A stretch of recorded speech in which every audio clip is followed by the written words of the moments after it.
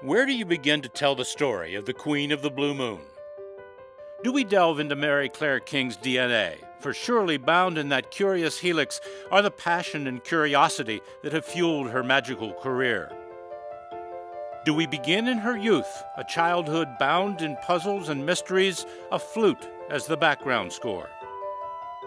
Do we start instead today, with a woman draped in the kind of scientific celebrity reserved for the curious and the sulks of our history.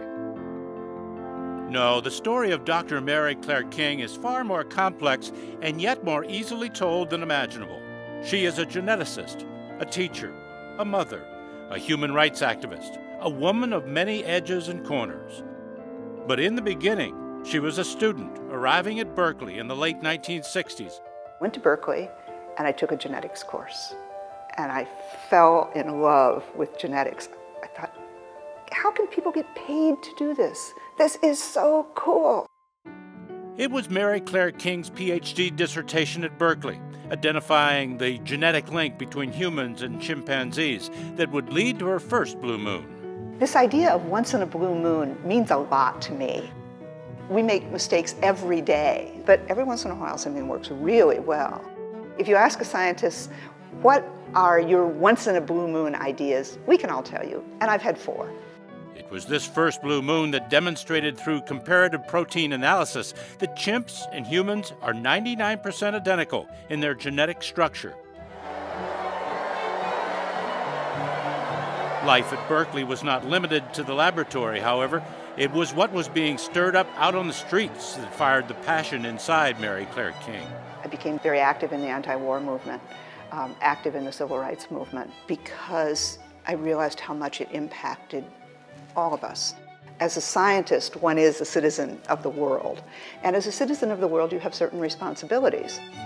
That sense of responsibility would lead to her second blue moon, using mitochondrial DNA sequencing to prove the connection between grandmothers and their grandchildren who had been kidnapped during Argentina's so called Dirty War of the late 1970s.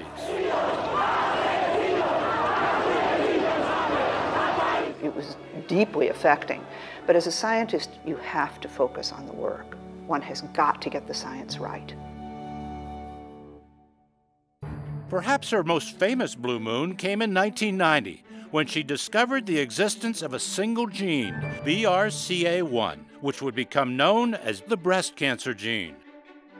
Her fourth blue moon happened when her research brought about a new understanding of the role genetic mutations play in the development of schizophrenia in otherwise healthy individuals. And so this, then, is Dr. Mary Claire King, tangled up in a lifetime of momentous achievements. Oh my, the questions she's answered, and the lives she has saved, and the hearts she has mended in such a relatively short period of years. And she's only just begun. Mary Claire King continues to move through the genetics landscape with a limitless passion and drive in search of that next blue moon idea. Perhaps in her case, they aren't so rare after all. I think of genetics as the stuff that dreams are made of. There's a whole new world of opportunities, of, of things to learn, things to do. Go for it. There's lots and lots of room in this profession. We're going to need a lot of good young scientists coming through. I can't imagine doing anything that's more fun.